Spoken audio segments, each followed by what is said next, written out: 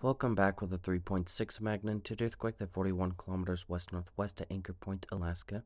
Happened at 5:55, 5:56 a.m. Central Daylight Time, and a depth of 85 kilometers.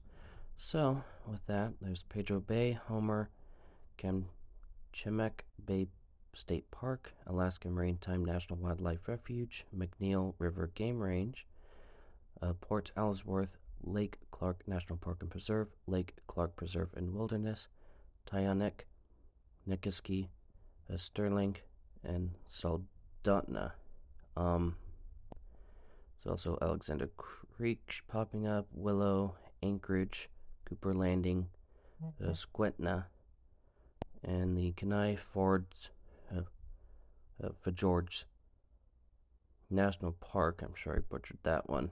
Um, so zooming in a little bit, Happy Valley pops up, Port Graham, Nikolsk. There's also Kaho, Kenai, uh, Kenai, and Kasilof.